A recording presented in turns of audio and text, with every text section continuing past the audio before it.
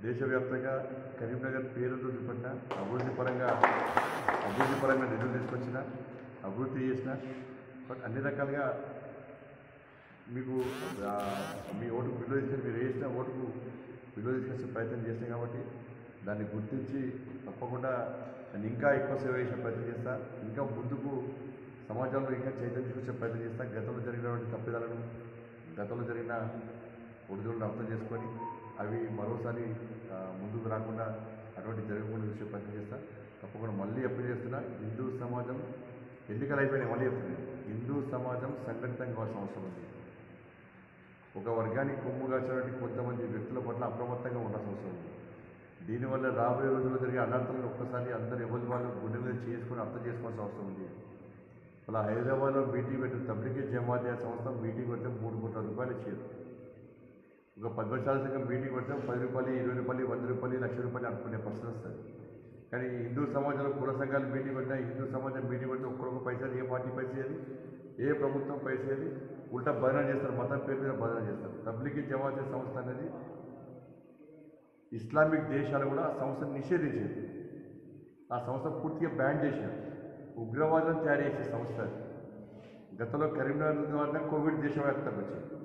కరీంనగర్లో కోవిడ్ అడగట్టేది ఈ సంస్థని వీళ్ళు ఎందుకు వచ్చారు పాస్పోర్ట్ ఉండొచ్చినా పాస్పోర్ట్ లేకొచ్చినా కరీంనగర్కి ఎందుకు వచ్చారో ఇంతవరకు ఏం తెలియదు. అలాంటి సంస్థ అప్పుడేమో దొంగ సంస్థ ఇది. వాళ్ళ సంస్థ దేశభక్తి సంస్థలట. వాళ్ళు వికారాబాద్లో మీటింగ్ పెడితే మొత్తం రోడ్లు వేస్తున్నారు ట్యాంకర్లు పెడుతున్నారు మూడు కోట్ల రూపాయలు ఇచ్చారు దాన్ని నేను విమర్శిస్తూ ఉంటా నన్ను విమర్శిస్తున్నారు. కానీ ఇస్లామిక్ దేశాల్లో ఉగ్రవాద సంస్థను నిషేధించింది ఆ సంస్థను ఇవాళ ఇస్తే ఏ విధంగా అది కరెక్ట్ అవుతుందో అర్థం రెండు వేల పద్నాలుగులో గెలుచుకోండి రెండు వేల పద్దెనిమిదిలో గెలుచుకోండి మొన్న కూడా గెలుచుకోండి కాబట్టి ఆ గెలుపుకోవడంతో సంబంధం లేకుండా మీరందరూ కూడా ఇవాళ నన్ను ఒక పార్లమెంట్ సభ్యునిగా గుర్తించి చాలా సంతోషం. ఎందుకంటే నేను కూడా మీరు సభ్యునే వాళ్ళందరం కనీసం రాబోయే రోజులైనా కూడా మీలాంటి పెద్దలందరూ కూడా సమాజాన్ని జాగృతం చేసే ప్రయత్నం చేయాలి. సమాజాన్ని సంఘటన చేసే ప్రయత్నం చేయాలి. చిన్న చిన్న సమస్యలు కులపరంగా కానీ ఏవో సమస్యలు ఉంటాయి. ఆ సమస్యలు వ్యక్తిగతంగా వ్యక్తులకు అంటగట్టే ప్రయత్నం చేయాలి. అంటే ఎన్నికలు అనేటువంటి ఒక సంఘానికి ఒక కులానికి ఒక వ్యక్తికో సంబంధించిన ఎన్నికలు కావు. ఈ సమాజానికి సంబంధించిన ఎన్నికలు దేశానికి సంబంధించిన ఎన్నికలు. ఇలా పోయినసారి మీరు కష్టపడి ఇష్టపడి ఓటేసినాను నేను పోయి మోడీ గారికి ఓటేసిన త్రీ సెవెంటీ ఆర్టికల్ రద్దు చేసినాం ట్రిపుల్ తలాక్ రద్దు చేసినాం సిటిజన్షిప్ అమెండ్మెంట్ యాక్ట్ తీసుకొచ్చాం. దాంతోపాటు ఇలా అయోధ్యలో దివ్యమైన భవ్యమైన రామ నిర్మాణం అంటే మీ ఓటు ఎక్కడ వృధాగా. మీ ఓటుకు విలువ తీసుకొస్తున్నాను సరే ఎన్నికల ప్రచారం కాకపోవచ్చు కానీ నేను మా ఆవేదన చెప్తున్నాను.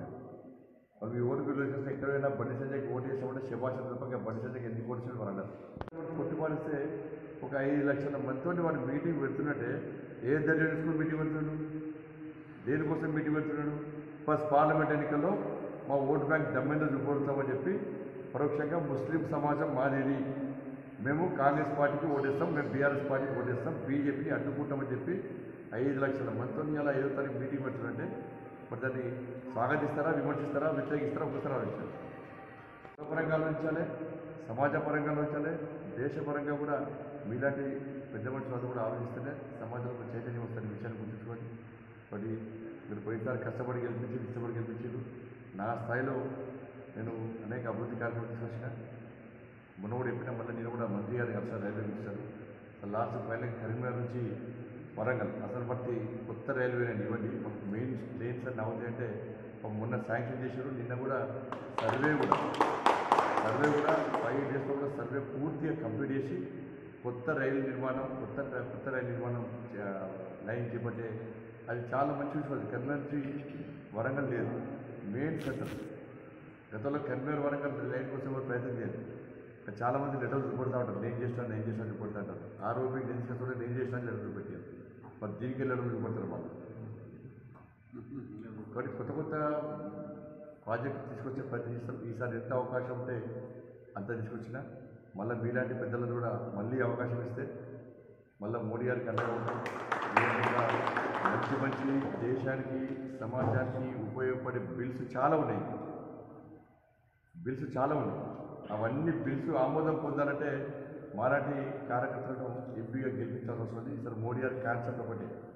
మూడు వందల యాభై సీట్లు ఓన్లీ బీజేపీ. ఎన్డీఏతో కలిపి నాలుగు వందల సీట్లు ఎక్కువతో గెలవాలని చెప్పి ఇవాళ మోడీ గారు సంకల్పం తీసుకున్నారు.